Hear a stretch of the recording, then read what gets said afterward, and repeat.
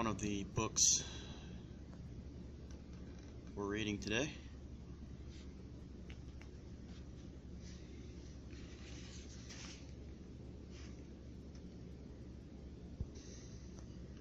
I wonder if, I wonder if Bear Scott's cereal and soup bowls are labeled like that.